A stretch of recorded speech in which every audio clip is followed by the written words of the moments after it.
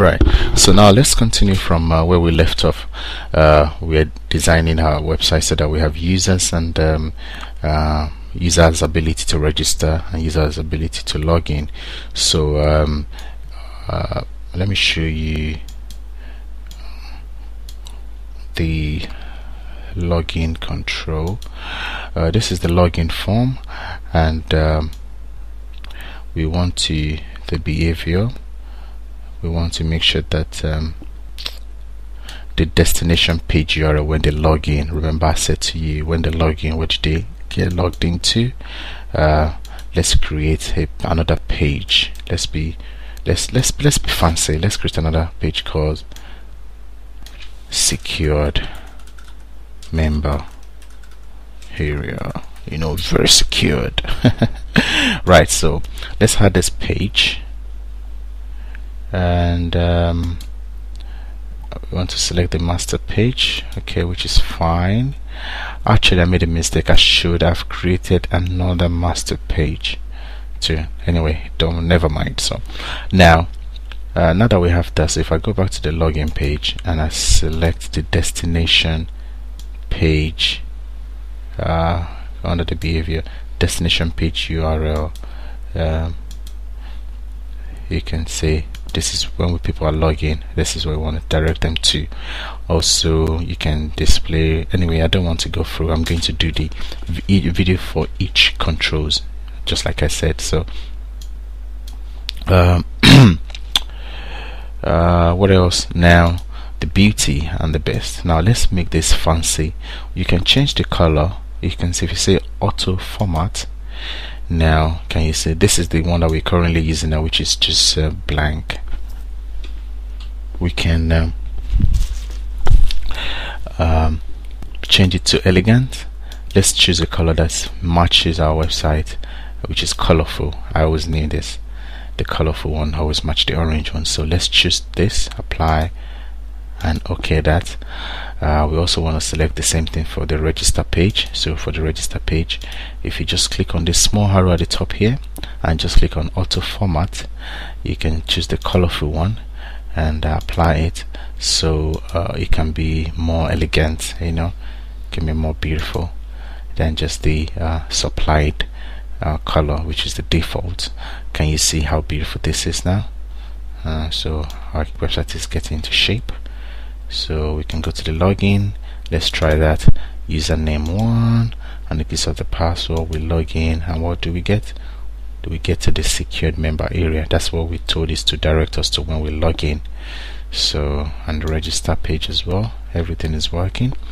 So now what we want to do now is uh, actually protect the secured member area so that um, uh, no. Before we get to that it would be nice if I tell you what the um, uh, something is gone wrong. Uh, okay. It would be nice if I show you uh, the roles and what the roles is about. Um, I've enabled roles so now I'm going to create two roles I'm going to create the user roles user roles and I'm going to create the admin role. So the user role will be every user and the admin roles will be the admin of the website. So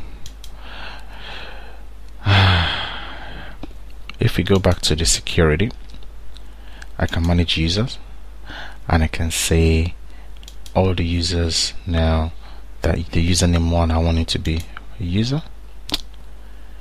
And um, the username 2 to be a user. Username 3 to be a user. So all of them are users. So if I create a new user if I create it now I can choose if it's admin. So let's create an admin role. Admin password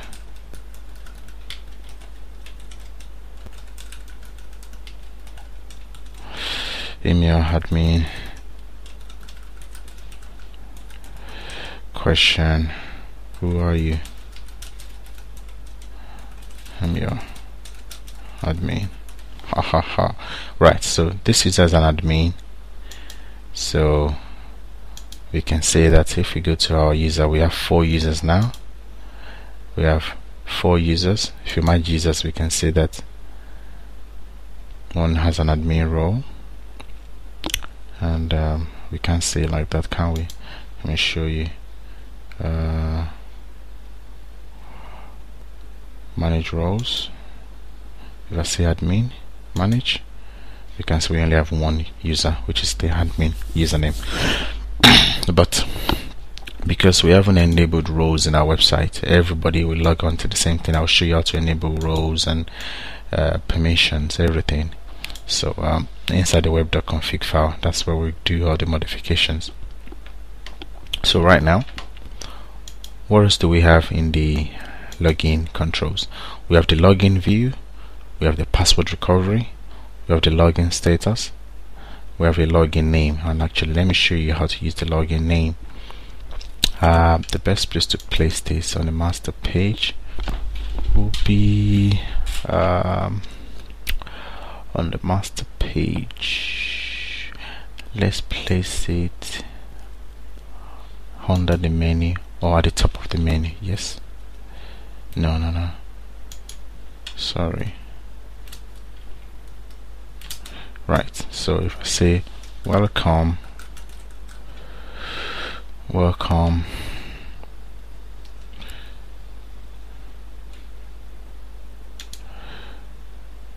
login name. So this is what happened. Even that doesn't make sense. I'll explain to you why why why it just doesn't make sense.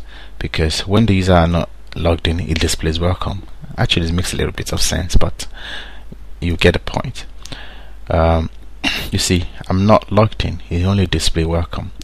But if I log in if I log in it will display my username as username 1 welcome username 1 so this means you are logged in and it's directed to secured member area. So that's how to use the login. Um, I don't want to get too much into the details on how to use all these controls because um, I'm going to be doing a thorough explanation of each one. And just like I explained to you before the uh, login view this is what I should have added under the welcome so that the login view for the logged out will not show anything here. When the user is logged out if I drag and drop this login view login view here then you see I have anonymous template which is when you don't know who the user is and you have the logged in template. So on the actually let me show you now. So under the anonymous template it will be blank but under the logged in template we will have welcome. Then we'll have this control inside here. Uh, if I can drag and drop. Right so now let's delete that. Let's drag this login view up here. So now let's run our application. It should make more sense to you now you know the reason why I'm doing these things briefly is because um, um, this is a quick start guide. It's not supposed to be an intense course. I'm still gonna do everything intensely. So you understand. So you see there's nothing here now because we are using the anonymous template here but once I log in let's log in. It should say welcome username 1 unless I'll be a liar. Can you see that? So you can actually control what people see when they logged in and when they log out. So anyway I'm going to stop now. I'm going to have my breakfast take some medicine get well and I'll be back. Thank you